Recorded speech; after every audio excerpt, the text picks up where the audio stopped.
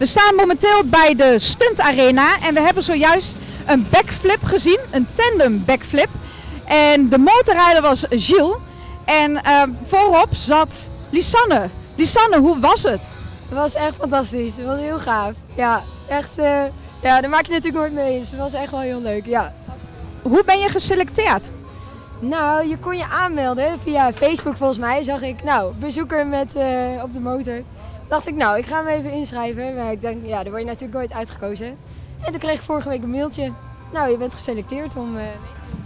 En wat waren de voorwaarden? Uh, nou, je moet sowieso nuchter zijn. En je moet onder de 70 kilo. En ja, boven de 18 jaar als het goed is. Ja, dat was het. Ja. Jill, um, how is it for you to have uh, someone on your motorcycle who you haven't practiced with? For sure, it's hard to have somebody in the front, you know, because you, you take the responsibility for, for, from the people. And uh, yeah, it's so, always stressful, but uh, it's fun, like a good challenge actually. Yeah. At what day uh, did you arrive at the Zwarte Cross? Uh, Monday. Monday. It's pretty long actually. and uh, then you have to uh, build a ramp and uh, you have to test everything. How how long does that take? Uh, to build everything, it's not take that long. It's like around like two hours. It's a mobile truck, you know, with hydraulic and everything. That's take. Oh yeah, that's pretty fast to do it.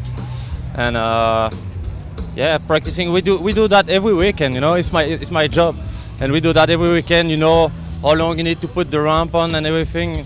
We just do some practice and that's it. Thank you. Um, Lisanne, ga je dit nou nog een keertje doen?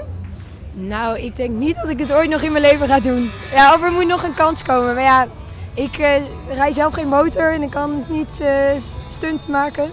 Dus ik denk dat dit de enige keer was in mijn leven. Maar hele mooie.